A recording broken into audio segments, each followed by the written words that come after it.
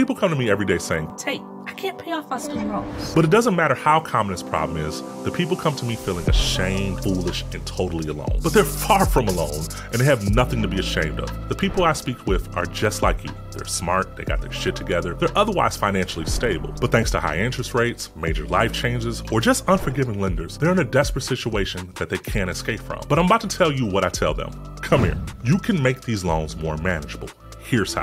Firstly, if you got a private loan, you should contact your lender. You might be surprised. Sometimes they'll offer a deferment or forbearance or a lower interest rate, but those are only going to be temporary fixes. If you're looking for more permanent relief, you're going to have to do something a little bit more drastic. You'll either have to refinance for a lower interest rate and a longer repayment term, negotiate a settlement, or file for bankruptcy. Now, I know these options, they really sound scary. And sure, they might end up bruising your credit score, but this would only be temporary. And if it means you get out of the chokehold your loans have you in right now, well, I mean, Really, that feels like a small price to pay, don't you think? I did a deep dive on those three options in this video over here. Take a look if you're interested in those. That's private loans. But what about federal loans?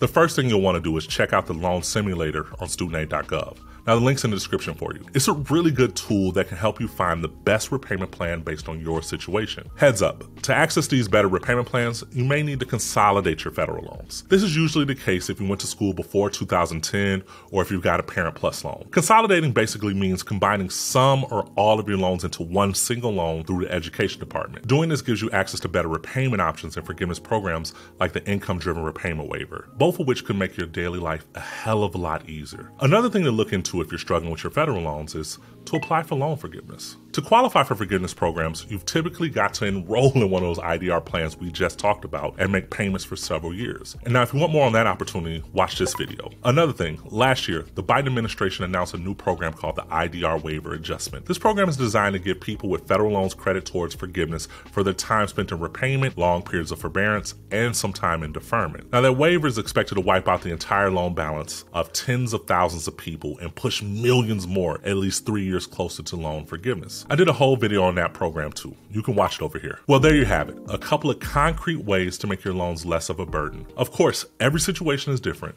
so if you need help making a decision, talk it through with a financial advisor or a student loan specialist. And hey, if you like talking to me, my virtual door is always open. There's a link in the description below for you to go ahead and book a call with me. If this video was helpful for you, give it a like so YouTube suggests it to others who need it. And if you want more free student loan advice every week, go ahead and subscribe below. I'll see you next time. Peace.